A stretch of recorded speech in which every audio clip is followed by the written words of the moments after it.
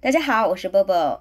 요즘에 비즈니스 중국어 대회 추천 요청을 부탁한다는 댓글을 받았습니다.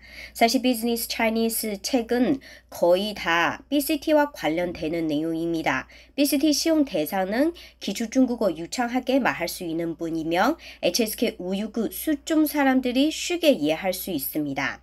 그래서 비즈니스 배우기 전에 기초 중국어 먼저 잘 배우고 그 다음에 배우는 게 더 낫습니다. 하지만 그런 사람 있잖아요. 나는 왕초보야. 근데 나 비즈니스 원해. 비즈니스 가르쳐줘. 그러면 이 책을 사용하세요. 맛있는 비즈니스 중국어.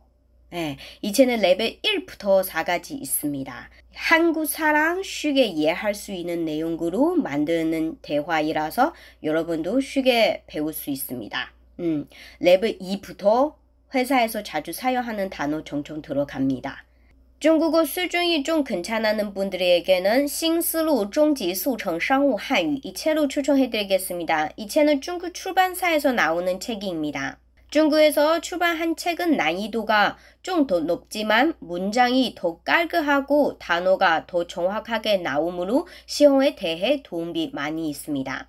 이 책의 내용은 중국 직장에서 많이 사용하는 대화로 만드는 책입니다. BCT 시험 준비하는 사람들에게는 BCT 商务汉语考试真题集이 책을 추천합니다.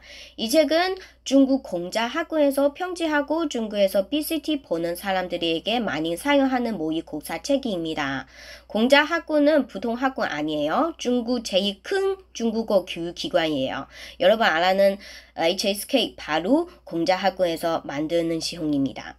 물론 한국에서 출발한 책이 더 다양하고 재미있게 나오지만 회화책 외에는 제가 많이 사용한 책이 거의 다 중국 출판사의 모의곡사하고 고급 회화 책입니다. 중국에서 출판한 책이 좀 더 어렵지만 어, 공부와 시험 대회는 더 도움 많이 있습니다. 好的，今天的有关商务汉语的视频就说到这儿吧。如果你喜欢我的视频，请给我一个赞。 点赞，嗯，那我们下次再见喽，拜。